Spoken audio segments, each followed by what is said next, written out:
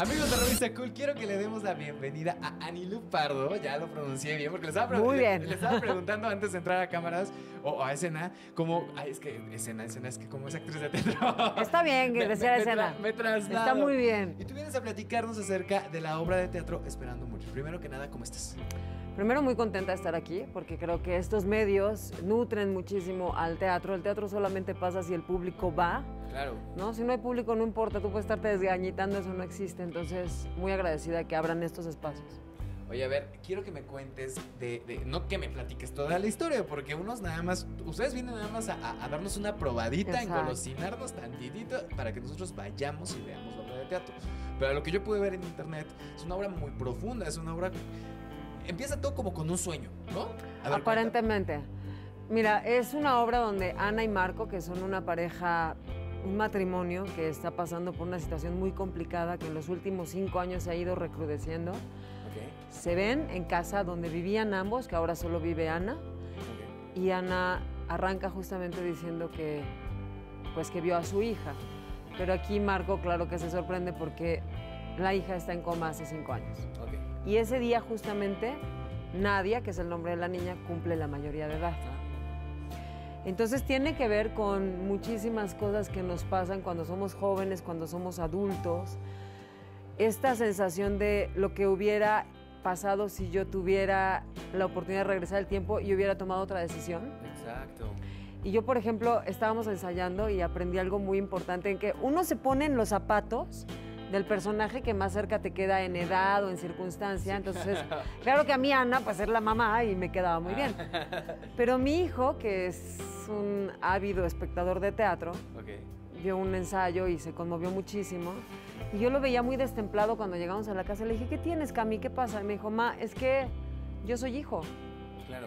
Pues claro que para él era, imagínate estar en la circunstancia de Nadia, que a los 13 años cayó en coma, Exacto. y hace 5 que está en esa circunstancia. Entonces me pareció muy padre que el triángulo que se genera, aunque Nadia no aparece en escena, nos da la posibilidad a adultos, jóvenes, no tan jóvenes, más adultos, más viejos, de reflexionar sobre las decisiones que tomamos Exacto. las que no podemos tomar y la vida te va llevando como si solo una estuviera fuercita, exacto Claro, claro. y el arrepentimiento y la culpa Oye, fíjate que con, con ese poquito que yo pude eh, escuchar, porque realmente, yo te voy a ser muy sincero, hay, hay unos videos en YouTube con los cuales yo me pude guiar para hacer esta entrevista. Y entonces, primero lo vi y después dije, voy a tapar la pantalla, voy a cerrar mis ojos y quiero sentir, a ver Ah, qué, qué qué tiene el texto, ¿sí? Y, y- y pocas obras de teatro me hacen trasladarme a una de las escenas de cine que, que- que más, que más recuerdo. No sé si has visto todo sobre mi madre de Almodóvar. claro Hay, hay una escena donde, donde está poniendo, eh, pues obviamente está montando una obra de teatro casi al final de la película y entonces la actriz habla de, de la sangre de su hijo que lo vio y, y- y me acuerdo de cómo me puso chinita la piel en ese entonces porque te hacen sentir. Lo mismo sentí ayer que estuve qué estudiando para padre! la obra de teatro. Así que de verdad ustedes vayan a ver esta obra porque... Porque no solamente creo que se trata de, de ir como espectador, sino también de abrirse más como ser humano.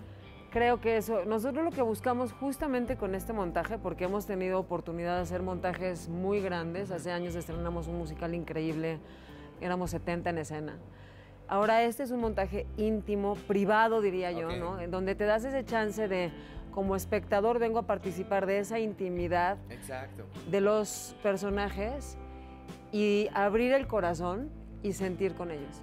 Alguien me decía que a mí me parece un gran cumplido que se lograba apartarse del teatro y sentir que estabas en ese lugar, que por alguna razón habías aterrizado en ese lugar, en esa casa, en el momento en el que estos dos personajes estaban pasando por eso. Claro, Y que más que espectador te volvías un testigo o un cómplice. claro.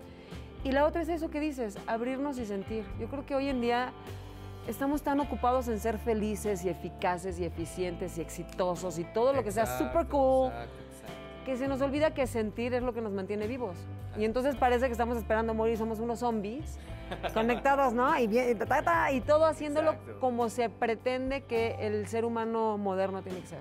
Exacto. Que, que ahora, con lo, con lo que dije hace ratito, no quiero demeritar tu actuación y la actuación de tu compañero en escena, porque tiene mucho que ver. O sea, el texto es muy bueno. y fíjate, qué curioso que lo digas. Yo hice todo sobre Imagen en teatro aquí cuando se estrenó.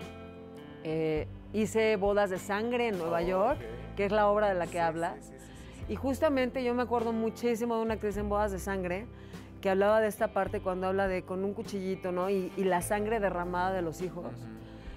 Y justo aquí hablamos de eso, de esta sensación de como padre nunca tendrías que enfrentarte a la posibilidad de que tu hijo muera antes que tú. Claro. Nadia no está muerta, está en coma, pero esto significa, creo que además conecta con estas pérdidas tan frecuentes hoy en día en este país de no sabemos qué es de nuestros hijos, muchos. Digo, Claro. afortunadamente no estoy en esa situación y no quiero para nada soslayar la gravedad de, la- de las circunstancias, pero una madre que tiene un hijo desaparecido está siempre en esta esperanza dolorosísima. Claro. Y aquí no está desaparecido, sabemos dónde está, pero no sabes qué va a ser de ella. Y esta incapacidad de transformar su vida y por ende la tuya se está yendo al traste porque tampoco tienes mucho motor. Exacto. Entonces me, me parece increíble y me- te agradezco que además hayas buscado. ¿no? información y que te hayas dado esta oportunidad de oír los textos y solamente sentir. Exacto. Entonces, pues si van al teatro todavía van a sentir más que con ese. Pero no cierren los ojos, sea, Vayan a vernos completitos, ahí estamos en vivo. ¿Dónde se están presentando? ¿Hasta cuándo van a estar? Nos quedan pocos jueves, acabamos el último jueves de junio. Esta es la primera temporada de esta obra, es un estreno mundial de una dramaturga mexicana, Sharon Kleinberg. El director es Mario Mandujano. Ok. Estamos en el Teatro La Capilla los jueves a las 8 de la noche. Es un teatro que está súper bien ubicado, Madrid 13, en el corazón de Coyoacán. Salen a muy buena hora, como para después de la obra irse a platicar de qué sintieron, qué harían, qué, qué les pasó, qué no quieren que les pase. Y esa otra de no arrepentirse tanto. A veces uno no toma decisiones, el hubiera no existe. Exacto. Pues me quedo con eso. Así es, el hubiera no existe. No existe. Eh, Anelu, muchísimas gracias por estar aquí. en Gracias a ti. Cool. Por acá les dejamos las redes sociales para que ustedes se pongan en contacto. Obviamente para que sepan también eh, cu- cuándo se van a estar presentando y todo esto. Y pues bueno, ustedes amigos ya saben, lo mejor es ir a- a- al teatro, ¿no? El teatro no ocurre si ustedes no están ahí. Exacto, no pasa. No pasa, es como un árbol que cae y nadie se entera, el árbol no cayó, así el teatro. Si no están ahí, la función es como si no existiera. Exacto. Amigos, no se despeguen de sus pantallas porque todavía tenemos mucho, mucho más. Continuamos.